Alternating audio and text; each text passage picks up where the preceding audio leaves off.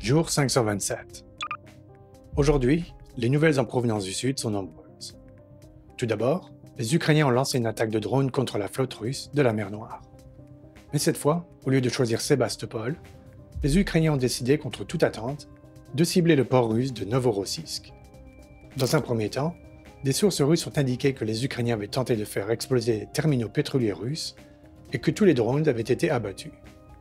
Malheureusement pour les Russes, les images de l'attaque ont été publiées très rapidement cette fois-ci, et c'est avéré que les Ukrainiens ont attaqué avec succès le bord d'un navire de débarquement d'assaut russe. Les opérateurs de drones marins ukrainiens ont également publié peu de temps après les images du drone lui-même. Le drone a fait un trou dans le flanc du navire, une pièce a été complètement inondée, et le navire a perdu sa capacité à se déplacer de manière autonome. Le navire était sur le point de couler lorsque les remorqueurs sont arrivés et le navire a été tiré vers le rivage à peine à temps. Les analystes russes ont exprimé leur mépris pour la situation. Ils ont analysé les images et conclu que non seulement les Russes n'avaient pas équipé le navire des mitrailleuses supplémentaires nécessaires pour intercepter de telles attaques, mais aussi que l'équipage n'avait pas remarqué le drone à temps, bien qu'il ait été averti à plusieurs reprises que des drones ukrainiens se dirigeaient dans sa direction. Les analystes russes ont conclu que l'équipage était détendu et pensaient être trop loin de l'action principale. Ce qui était exactement sur ce quoi les Ukrainiens comptaient. Ainsi donc, ils ont réussi à endommager un navire de plus. Simultanément, les Ukrainiens ont mené une attaque aérienne massive de drones sur la Crimée. Les Ukrainiens auraient lancé 20 drones de différents types. Les trois premiers groupes de drones ont visé la côte occidentale de la Crimée.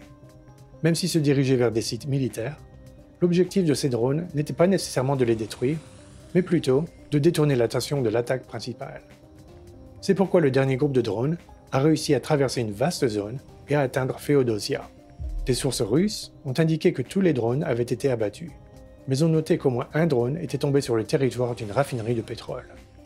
Certains analystes russes ont noté que les vastes dépôts de pétrole de Féodosia étaient exactement ce que les Ukrainiens visaient.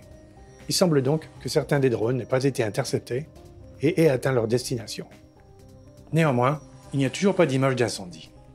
Donc même si les drones ont touché le territoire de la raffinerie, il n'est pas garanti qu'ils aient infligé des dommages, ce qui arrive parfois.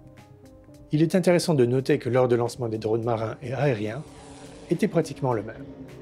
C'est une autre raison pour laquelle les Russes ne se sont pas préparés à l'attaque de Novorossiysk. Ils pensaient que la cible des drones marins serait la Crimée. Et ils avaient en partie raison, car les drones marins se sont divisés en deux groupes dont l'un s'est dirigé vers le pont de Kerch. Selon des sources russes, les Ukrainiens ont attaqué le pont avec au moins trois drones. Les habitants de la région ont déclaré avoir entendu des explosions, ce qui est confirmé par les images.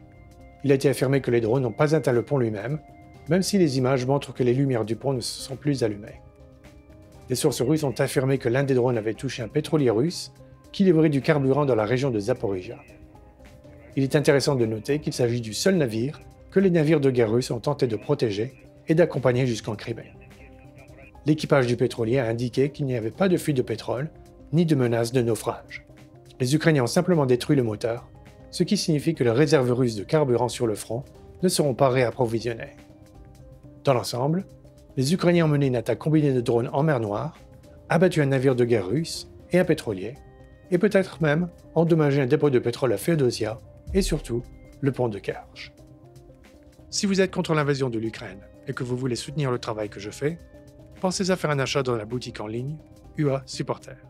Vous y trouverez de nombreux produits portant des symboles ukrainiens afin de montrer votre soutien non seulement à cette chaîne, mais aussi à l'Ukraine. Le lien vers la boutique en ligne se trouve dans la description.